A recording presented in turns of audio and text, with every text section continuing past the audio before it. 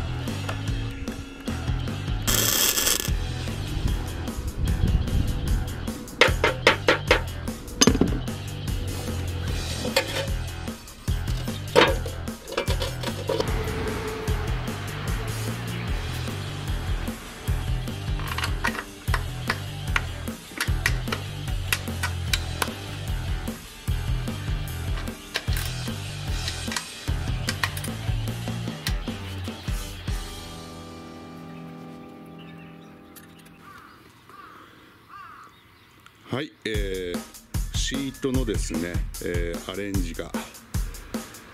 終了しました、えー改良点としては、えーシートの位置を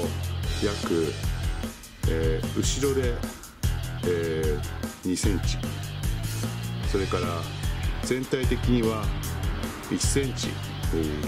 下げました。えーそれとですね下げたことによって、シートの位置が、約3センチほど前に移動しました。これで外見的にはだいぶ、えーこう締まった感じになって足つき性もだいぶ良くなったんではないでしょうか。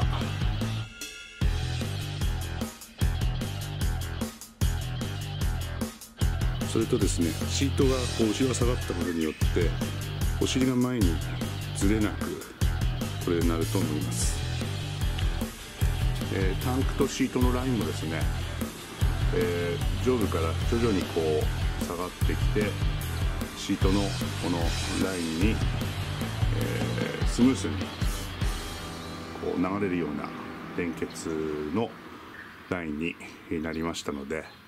えーだいぶかっこよくなったんじゃないかなと思います、まあ、では実際に座ってみましょう。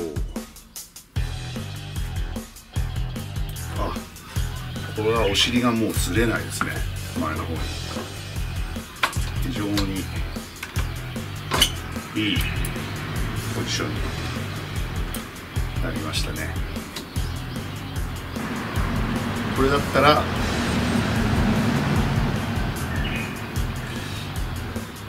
にこうニグリップしなくてもまあそこそこ知れるんではないでしょうか。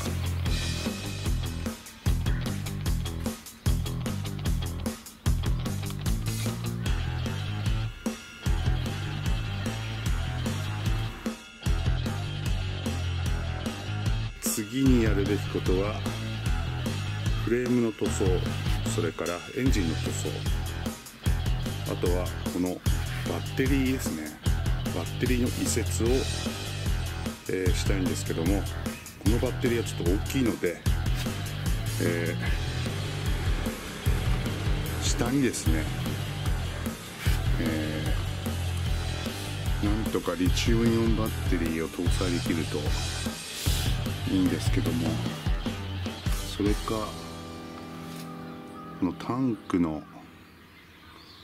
この下ですね。ここが開いてますね。ここがいけるんじゃないかなと思ってます。最後までご視聴ありがとうございます。この動画が気に入った方はいいねボタンチャンネル登録よろしくお願いします。それではまた。